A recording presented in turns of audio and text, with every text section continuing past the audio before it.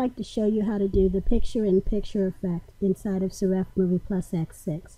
I have a video and I have a scan of a Polaroid land camera picture frame that I want to use to place the video inside of the picture frame.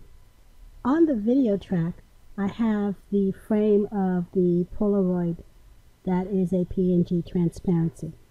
And this is a clip of a video that I found on the Internet Archive. What I want to do is to move the video track to the overlay track. When I select it, you can see that I can see the video, but I can't see the Polaroid frame. There's a way to fix that. What I want to do is put the video inside of the frame. So I'm going to move to the Properties tab, select Transform, making sure that I have the video selected, and I do. Now, you have two options in this.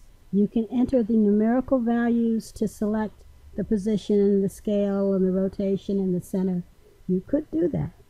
Or you can select the selection points to make your adjustments. Now, one word of caution. The middle selection points will stretch. And as you can see, that might not be something that you want. So I would be very hesitant to use the middle selection points in order to uh, get a video or another picture to fit inside of this frame. I'm going to hit the undo. Went back a little too far, but that's okay.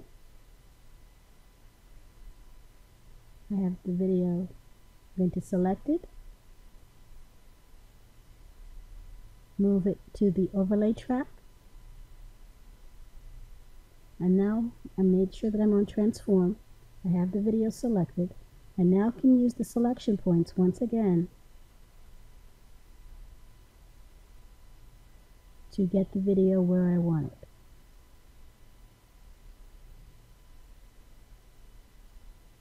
And you also have the option of using the left mouse button to click, hold, and then move the video exactly where you want it inside of your frame.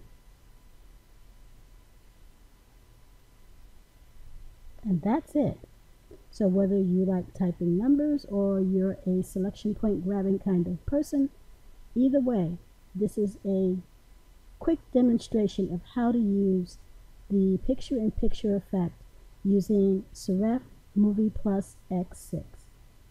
Thanks for watching.